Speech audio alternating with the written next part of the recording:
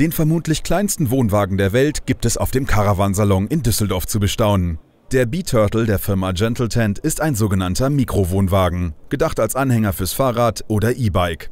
Das Zelt lässt sich innerhalb von 10 Minuten aufblasen und man muss nicht mehr auf dem Boden schlafen, denn die Liegefläche samt Matratze sind auf dem Radanhänger angebracht.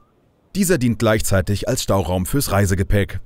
Außerdem kann man im Vorzelt aufrecht stehen. Das kommt an, zumindest beim ersten Probeliegen.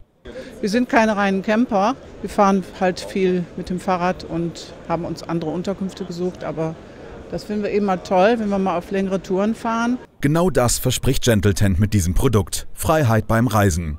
Das Fahrradzelt ist eine Weltneuheit auf der Messe. Die Single-Version des B-Turtle wiegt 25 Kilo und kostet 2790 Euro. Wer lieber zu zweit kampiert, legt nochmal 200 Euro und 5 Kilogramm obendrauf.